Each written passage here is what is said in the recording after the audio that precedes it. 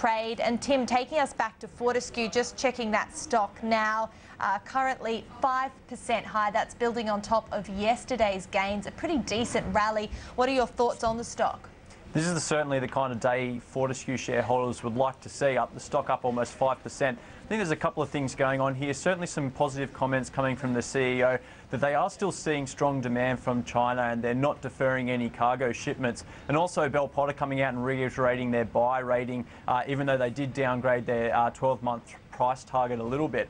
Uh, but Fortescue has been struggling significantly. We've, we've, seen a drop almost 20% over the last couple of months. We've seen the iron ore price pull back significantly from up around that $150 level down to around $130 at the moment. And obviously, uh, Fortescue is a pure play iron ore miner, so that spot price there very important. But uh, I think a lot in the market, a lot of people in the market expect there to be a, a price floor for iron ore around that $120 mark, around the marginal cost of production. And uh, certainly the Bell Potter research suggests that any prices below that is going to have significant consequences for Fortescue in terms of capital raising, but prices above that looks like existing debt levels as well as cash flows will be enough to fund that expansion out to 155 million tonnes per annum.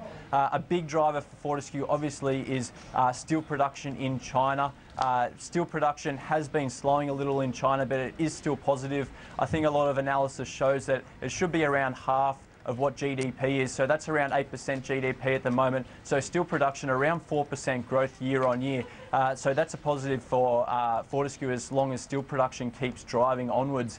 And uh, possible falls in iron ore prices uh, over the next couple of months uh, I mean, inventories have been rising in steel uh, in uh, steel factories in China, so that will have an effect on iron ore prices. But I think there is some speculation of some uh, further stimulus coming from China, and that would definitely have some more positive effect on Fortescue and other mining-related stocks.